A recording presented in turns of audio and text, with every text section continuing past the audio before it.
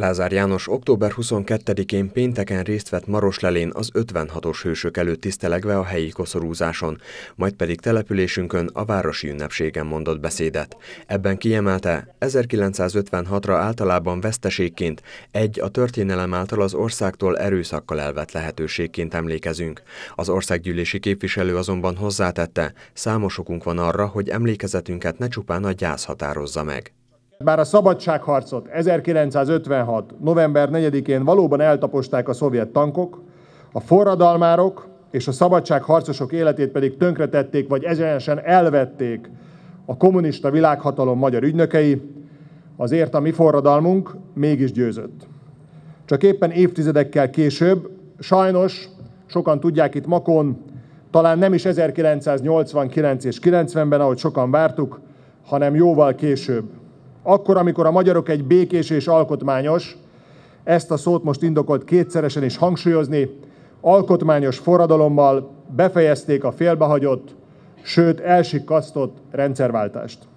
Bizony, azt kell mondjuk ma este itt Makon, az 1956-os forradalom csak 2010-et követően győzött igazán. Mint fogalmazott, végre teljesültek az 56-osok legfontosabb célkitűzései. Magyarország szuverén, politikai, gazdasági, pénzügyi és energiapolitikai értelemben is visszaszerezte önrendelkezését, jelenleg pedig azon dolgoznak, hogy ugyanez megtörténjen az élelmiszeripar és a mezőgazdaság vonatkozásában is.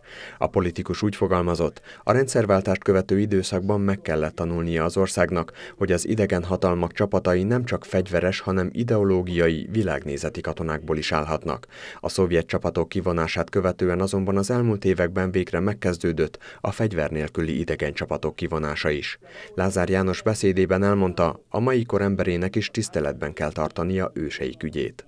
A forradalmak eredményeit, vívmányait, akár 60 év után is, sohasem lehet magától értetődőnek, örökre és végtelenül adottnak tekinteni.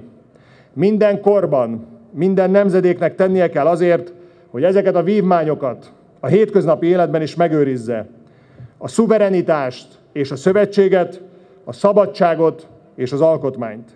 Mert ezekre akkor is leselkednek veszélyek, ha éppen nem lánctalpon érkeznek.